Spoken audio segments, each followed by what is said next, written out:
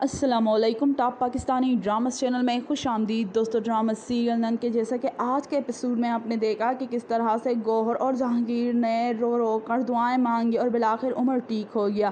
لیکن یہاں پر دلاور کو گوہر اپنی زندگی میں چاہیے۔ گوہر چونکہ بار بار اسے یہ مطالبہ کر رہی ہیں کہ نہ تو عمر تمہارے ساتھ رہنا چاہتا ہے اور نہ ہی اپنی مزید آگے کی زندگی تمہارے ساتھ گزارنا چاہتی ہوں۔ مجھے تم سے آزادی چاہیے، تو اس بات پر دلاور